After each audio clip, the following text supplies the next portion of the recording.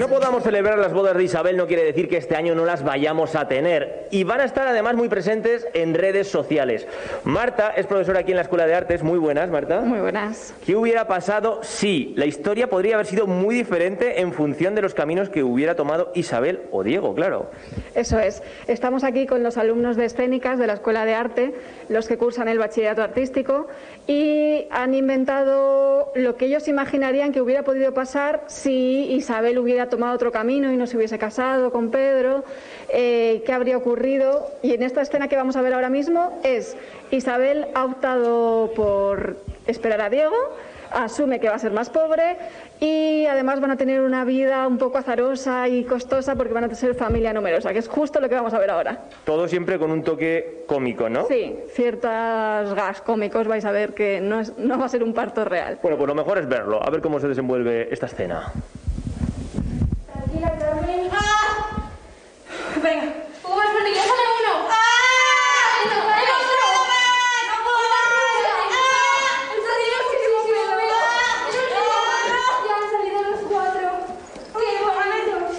¡Oh! ¡Oh! Cuatrillizos, ni más ni menos. Así ha sido el parto. y en un momento. Oye, esta no es la única escena que estáis rodando hoy, ¿no? No, no, tenemos, vamos a hacer varios TikTok con varias posibilidades, entonces esta es cuando elige esperar a Diego, pero vamos a grabar ahora en la catedral eh, la boda real, cómo sería la historia como tal y como la conocemos, bueno, en Pues nuestra versión. asistido al parto, la boda no me la pierdo. Vamos allá. Bueno, ya estamos en la puerta de la catedral. Estamos en la puerta de la catedral, esta vez es otra, otro de los TikTok. En este caso es la versión en real, la de Isabel casándose con Pedro y queremos manifestar esa tristeza que estaba, que tenía. Y ahí lo veis. Ha llegado con su padre, un poco empujada por él.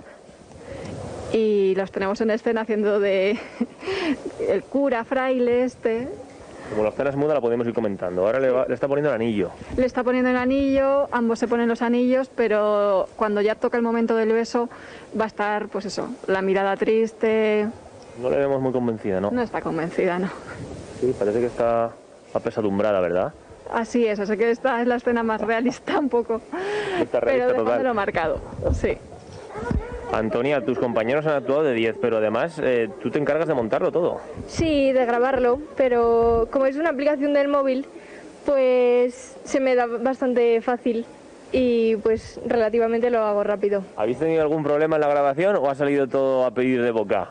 No, siempre sale bien porque hay bastante organización, pero cuando hay problemillas de último momento siempre logramos solucionarlo. Oye, os hemos visto muy sueltos, ¿eh? ¿A ti en el futuro te gustaría estar ligada también a las artes audiovisuales? Sí, me, me gustaría bastante, pero aún no lo sé.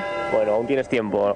Lo que hemos visto es que la historia de Diego y de Isabel la habéis cambiado y la verdad que podemos decir que el resultado ha sido inmejorable y muy gracioso, ¿eh? Sí, la verdad es que han sido horas de debate de a ver qué hacíamos para que no fuese tanta locura, pero ha estado muy bien. Se Enhorabuena, chicos.